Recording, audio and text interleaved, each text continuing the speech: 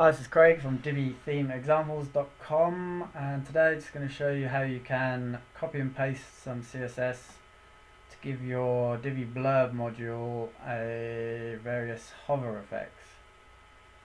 So this is the default blurb module. You've got an icon title and this is the first example. So as you hover over you can see we have a drop shadow added. We change the color of the icon and the heading. And there is a slight zoom effect on the whole module as well.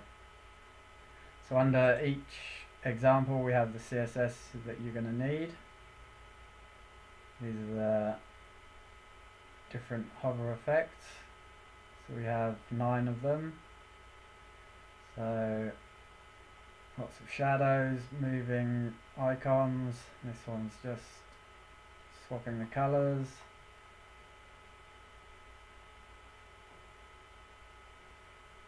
We're moving the icon and blurb up. We got a like a progress bar at the bottom and filling the background. Blurring the icon with the drop shadow.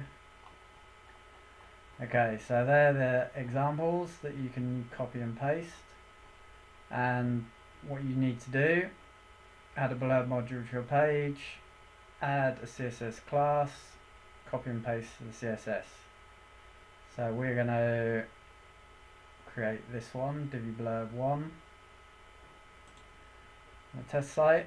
Um, I think blurbs generally look best in one third spacing. So we're going to add a blurb, title, that's the content. We're going to use an icon.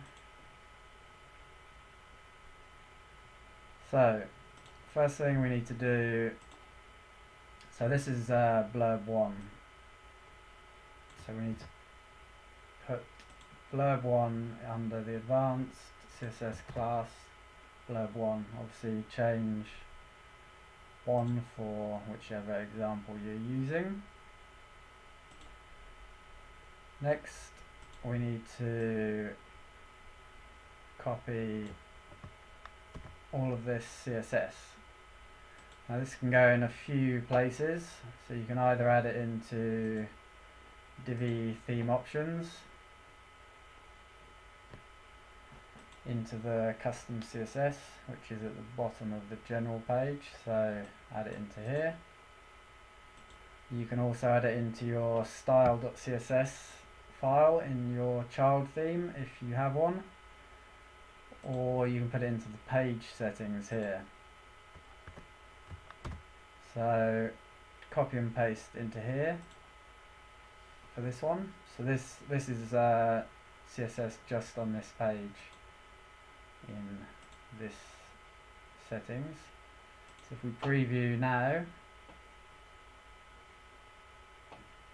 we should see when you hover you get the change in color and the drop shadow. So on I think all of the examples and pretty much all of the blurbs that I use, I always put the text orientation to center and add custom padding 20 pixels. You might want to make that slightly less on mobile. So if we preview that now, you should see it's centered and we have some spacing.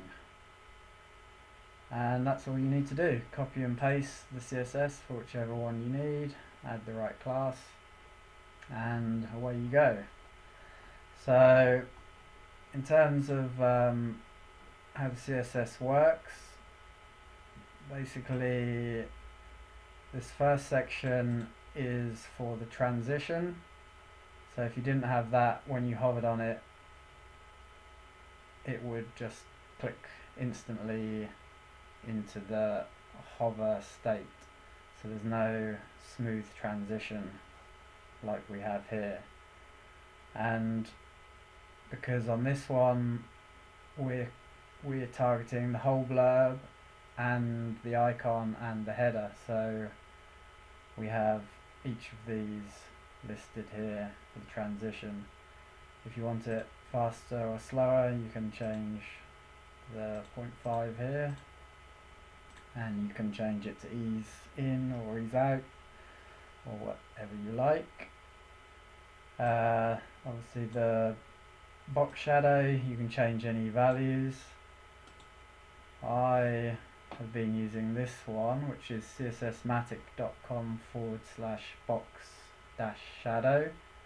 If you just google for online CSS box shadow generator. And then you can just drag the sliders to get the type of effect you want. And then copy everything in here and replace this bit here. So this is saying for the whole blurb on hover we're going to add this box shadow.